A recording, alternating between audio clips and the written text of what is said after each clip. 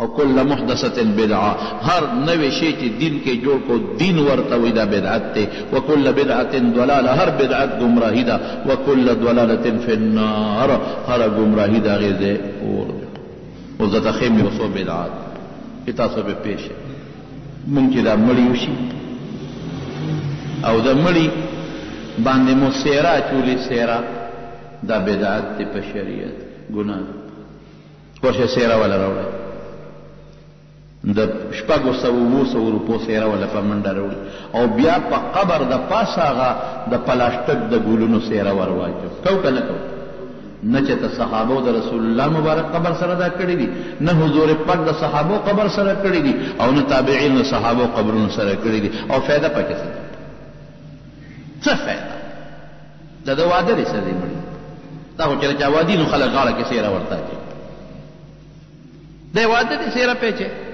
قبر ولا ډولې کې سبا بل سیره چی پړه شو لکه نری نور سر پیچه وکړه چې پلان د قبر ډولې وي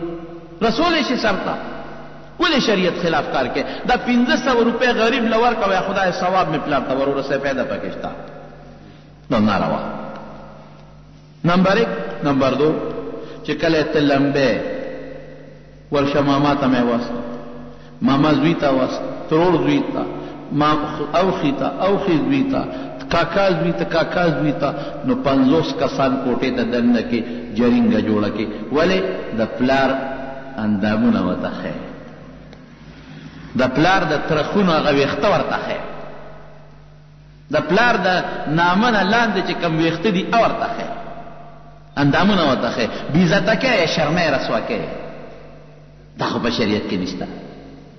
شریعت کې خو په درې کسه مړې لمبېږي که نه درې زامن دی راشي پلار او زوی دی راشي رونه دی راشي خبره خلاصه یو کس ورسره کروټ بدلوي یو کس دی وباچوي بل دی مږي خیر خلاص په درې نه کېږي څلور شو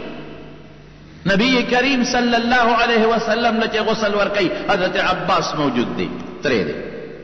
دوی زامن دي حضرت قسم او حضرت فضل انصارو هغه ځای نه اواز وکړو وی زمونږ حق په رسول الله مبارک کې نشته وی ختم را نه حضرت ابوبکر پرې خېدې نه حضرت عمر پرې خېدې او نه بل او نه بل په دغه څو کسانو د رسول الله مبارک وسلو ولې جرینګه را غونډه وي خپه به شي په دې به خپه کېږي دا خو د مړي کې بای جان سوچ وکړه فقهاو لیکلي دي چې د مړي له په خېټه به یو لاس راکاږي ولې بعضې وخت کې د ده نه اودس ماتې په مرګ نه پس لاړ شي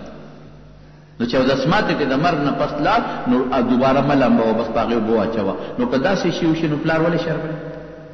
کیدی شي دې غریب ترخونه نه اغشته کیدی شي نامنه لاندې ویختی نه اغشته ولې شرمې خلکو او دغه خلک سبا پراپیګنډې کوي خو چې وسر جګړه شي دا تربور دله پیغور ده کوي مړه د پلار خوله خو دې چینګه وکړه ما پکې ګوتې والي پلار دې سنګه ست وازې سترګې پروت و په تخته باندې د لمبو له خو یې نه وې کنه ما دله وډارول دا پیغورونه مونږ اوریدلي ولې شریعت نه خلاف دی هغه کار وکړه چې کوم د رسول الله مبارک نه ثابت دی ښه د هغې نه پس چې کفن ورکړي د سړي درې دي او د ښځې پنځه دي بس بل پکې نشته نو چې کفن ولا ورکړي نو د تختې لوا پخه کوي نو د تختې الوا په شریعت کې نشته دا چې به هندوانو دلته مړې لمبه نو الوا به پخوله نو کم از کم زر پنځلس سو روپۍ په الوا ولګي نو دا خیراتي ولې نه ورکوي د تختې الوا پخه کوي چې د خوله خوږه شي پته به ورته ولګي بابا که د نیک عمل او نو خولې خوږه د جنت ته تللی دی او که بابا دې بد عمل او نو دونه مضبوط کوتک به ورته نیولي چې پته به ولګي والله که په الوا ولا خوله راغونډه کې حضرت فاطمه رضی الله تعالی عنها چې وفات کېده نو وصیت یې وکړ الله حیا دغه وه وی ما به د شپې خخوي دروازې به نه خخوي او زما په کف په کټ به لرګي کېده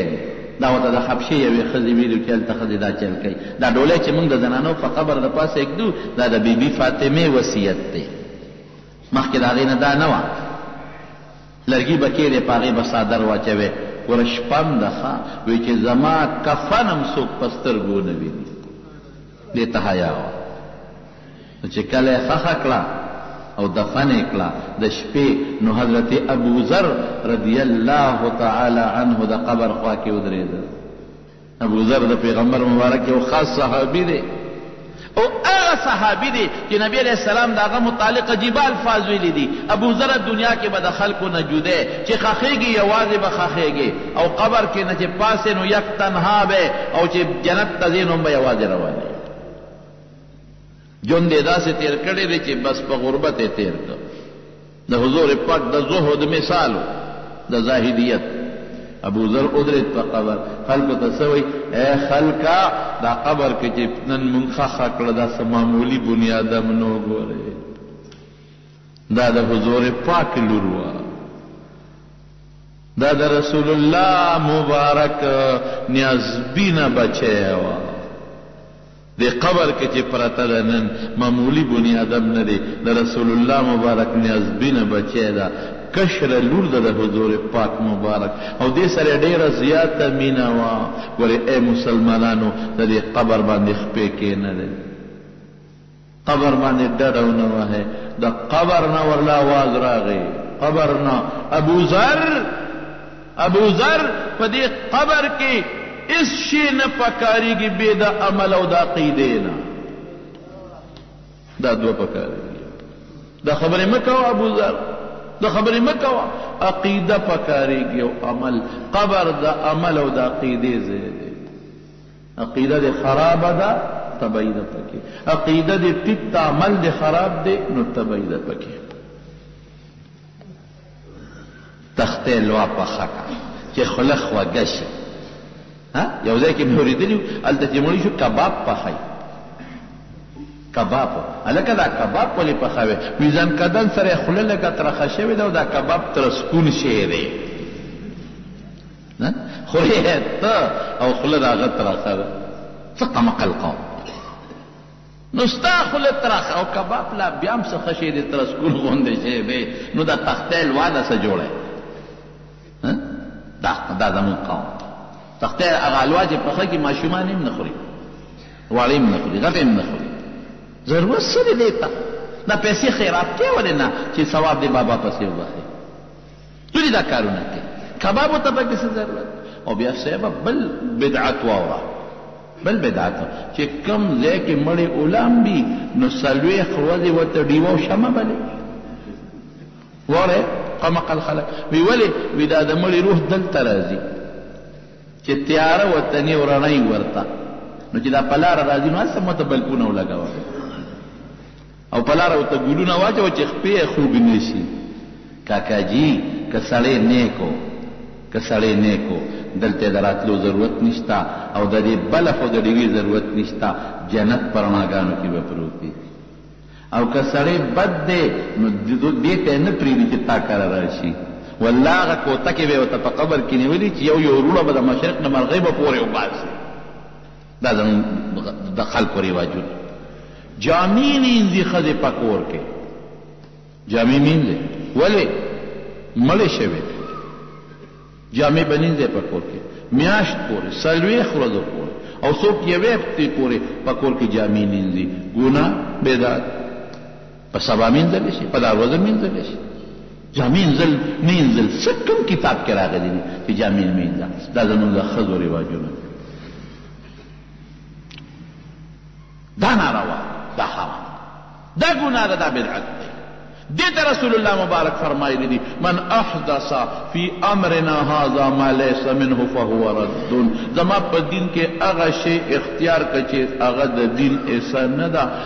او ثواب یې ګڼې دین یې ګڼې دا مردود دا خطا دا ناروا کارونه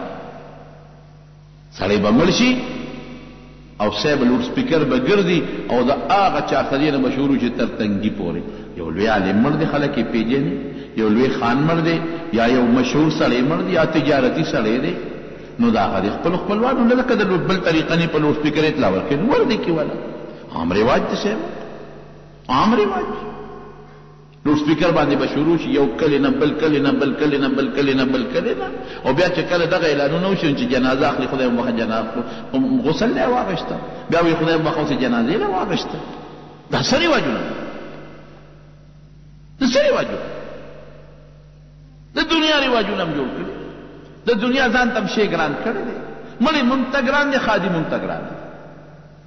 یو مړي باندې نن او په بعضې ځایونو کې چې مړ شي ورپسې دوه درې میخې غویا ننالي والله که قبر له څوک چاري اوچتای دیوال ته به یې ډډې والي خو چې وویني چې میخ حلاله شو او غوی حلال شو نو چاري به په اوږه کې او قبر له به ځي او چې ورته پته وي چې نه روره دې کې خو بلاله نشته نو کور ته به لاړ شي وي موږ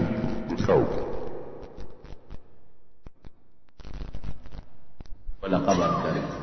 پرونی زما د پلار غوې خورلې و نن نه ده دی الکه رښتیا ویم که غلطه ویم وای دغه زمون په دې مهري علاقه کې یو وخت کې یو ځن خزم لښ سړی مړ شو خزه کونډه پاتې شو یتیمانان بچی پاتې شو یو رشته دار یې راغی او غوی راوپرځاو، یا لکه څه کې نه خیرات په پسې کوم، یا نېکبخته یتیمانان دي، بچي دي، ماشومان دي، څوک یې نشته د خدای نېکبخته مک نه نه زله لومه زه خپله پرې خرچه کوم، زه پرې خپله، ای ماشومان دي، جینکۍ دي، دا غوی دا پیسې دوی ته پرېږده، مالاله وه. وی لال که روجی پخی کړی خلکو وی زه بس ټیک ده چی دی خپل خیرات کوی نو کوی دی نو دیره ورسره خو چی د ښځی عدت تیر شو بس ګاړی راوسته او سره د بچو یی ښځه بوتله وی دی پسی ما بلا پیسی لګولی دی دا ښځه هم زما ده او دا بچی هم زما دی ښځه زما ده زه به پی نکاح تړم بچی زما دی دا به زه خرڅوم د جنکو خرڅ دا دا دا دا ریواج دا نارواګان ودخلوا فی السلم کافا الله قرآن حکیم کې فرمای اسلام کې مکمل ځان دننه کې د اسلام د دایره باندې یو نوکم باندې بهر کې دا موضوع نیمګړې پاتې ده آینده جمعه به په دې خبره کوم ان شاء الله العزیز د دې بدعاتو متعلق چې زموږ کوم په دې وطن کې د شریعت خلاف کوم رسومات دي یا بدعات دي، هغه درته ښکاره کوم، ولې چې موږ هغې نه ځان وساتو او د نبي علیه السلام مبارک د سنتو مطابق زندګي تېره کړو. وخت ختم دی، آینده جمعه به وایم ان شاء الله. دعا وکړئ، رب العالمینه موږ د رسول الله مبارک د سنتو تابعدار جوړ کړې. الله موږ د بدعاتو. د رسوماتو نه په امن کې وساتي او د رسول الله مبارک د طریقې نه خلاف ورزي الله د هغې نه مونږ وساتي او د پیغمبر مبارک په نقش قدم او د هغه په طریقو زموږ عمل نصیب کې خدایا مونږ ګناهګار یو بېشکه مونږ د خپلې ګناه اقرار کوو الله مونږ ډېر ګناهګار یو الله مونږ ډېر ګناهګار یو الله تا مونږ سره ډېرې زیاتې ښېګړې کړې دي خدای تا مونږ له مال راکړی دی مونږ له دی بچی راکړی دی مونږ له دی عزت راکړی دی مونږ له دی شکل راکړ مونږ له دی انسانیت راکړی دی او الله مونږ ګړی په ګړی ته خپه کړی مونږ هغه کارونه کړی دی چی هغه مناسب نه دی خدایه ته هم خپه کړی نو خدایه زمونږ ګناهونه معاف کړه الله زمونږ ګناهونه معاف کړه الله زمونږ ګناهونه معاف کړه او خدایه که د دی بندګانو د ګناه د وجی نه تا دا باران بند کړی نو خدایه دی باران ته یوازی د دی انسانانو ضرورت نه دی خدای دې ته د دې اونو بوټو او د دې ماشو مېږو او د دې کبانو هم ضرورت دی نو الله د دې خپلو حيواناتو د برکت نه په موږ باندې باران وکړه اللهم اسقنا غيثا مغيثا مريعا مريئا اللهم انزل علينا رحمتک اللهم انزل علينا رحمتک